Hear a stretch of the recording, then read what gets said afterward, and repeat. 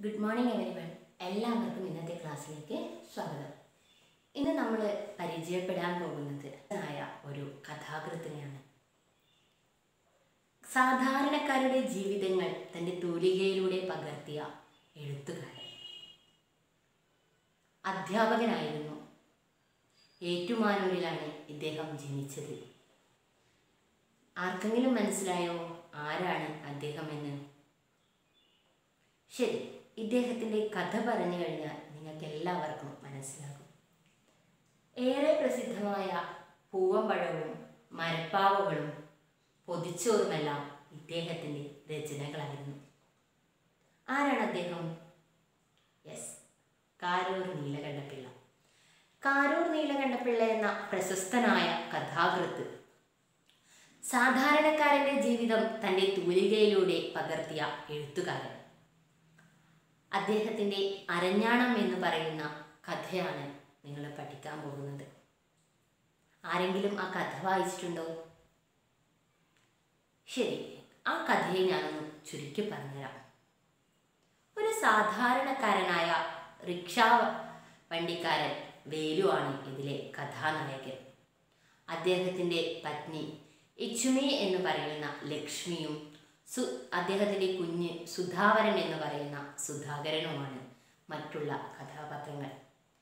തന്റെ കുഞ്ഞിന് സുധാകരന് ഒരു അരഞ്ഞാണം വാങ്ങണമെന്നുള്ളത് റിക്ഷാക്കാരനായ വേലുവിന്റെ അതിയായ മോഹമായിരുന്നു. അതിനുവേണ്ടി പണം സ്വരുക്കൂട്ടാൻ തുടങ്ങി. പക്ഷേ എത്ര തന്നെ സ്വരുക്കൂട്ടിയിട്ടും അതിനാവശ്യമായുള്ള പണ പണമാക്കാൻ അവർക്ക് കഴിഞ്ഞില്ല.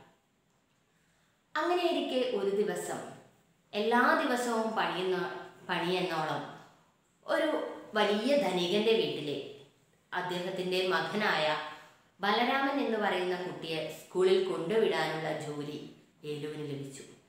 ഇതിലൂടെ തനിക്ക് കിട്ടുന്ന പണം സ്വരുക്കൂട്ടി അരഞ്ഞാണം വാങ്ങാമെന്ന് കരുതി. എപ്പോഴും ബലരാമൻ എന്ന കുട്ടിയോട് വേലു തന്റെ ജീവിത കഥകളെക്കുറിച്ച് പറയാറുണ്ടായിരുന്നു. തന്റെ മകന് അരഞ്ഞാണം വാങ്ങണമെന്നുള്ള അതിയായ മോഹത്തെക്കുറിച്ചും പറഞ്ഞിരുന്നു. അങ്ങനെ ദിവസങ്ങൾ കഴിഞ്ഞു. പണം സുരുക്കൂട്ടി വെക്കാൻ തുടങ്ങി. പക്ഷേ അതിനിടയിൽ വന്ന ലക്ഷ്മിക്ക് വന്ന ദീനവും കർക്കിടകവാവും ഒക്കെ പണം ചെലവാകാൻ കാരണമായി. അങ്ങനെ പിന്നീട് സുധാവരൻ എന്ന് പറയുന്ന കുഞ്ഞിന്റെ പിറന്നാൾ ദിവസം എത്തി അന്ന് ബലരാമന്റെ അമ്മയോട് തനിക്ക് പിറന്നാൾ ആഘോഷിക്കാൻ പണം വേണമെന്ന് വേലു പറഞ്ഞു. പണം കൊടുക്കരുതെന്ന് ബലരാമൻ ശക്തമായി വിലക്കി. അത് അരഞ്ഞാണം വാങ്ങാനുള്ള പണമാണെന്നും പറഞ്ഞു. പക്ഷേ വേലുവിന്റെ അവസ്ഥ കണ്ടപ്പോൾ അമ്മ ആ പണം വേലുവിന് കൊടുത്തു. അങ്ങനെ അന്നും രാവിലെ പിറന്നാൾ ദിവസവും രാവിലെ അദ്ദേഹം കുഞ്ഞിനെ ബലരാമനെ കൊണ്ടുപോകാനായി റിക്ഷയുമായി വന്നു. ബലരാമൻ ചോദിച്ചു ഇന്നും നിങ്ങൾ വന്നോ? വരില്ല എന്ന് ഞാൻ കരുതി എന്ന് പറഞ്ഞു. പക്ഷേ ജീവിക്കാൻ വരണമെന്നായിരുന്നു വേലുവിന്റെ തിരിച്ചുള്ള മറുപടി.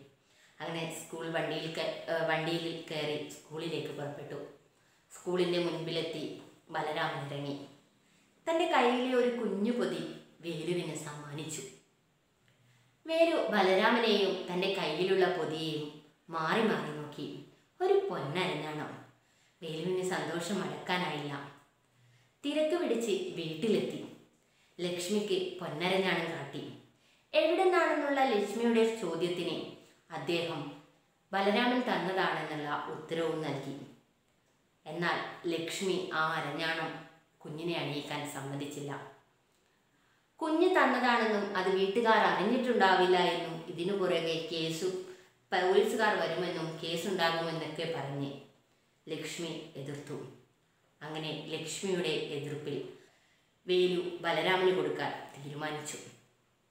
അന്ന് പിറ്റേ ദിവസം സ്കൂൾ അവധിയായിരുന്നു. അതിന് തൊട്ടടുത്ത ദിവസം വേലു ബലരാമനെ കൊണ്ട് സ്കൂളിലേക്ക് പോകും വഴി തന്റെ ആ അരഞ്ഞാണം തിരിച്ചു കൊടുത്തു.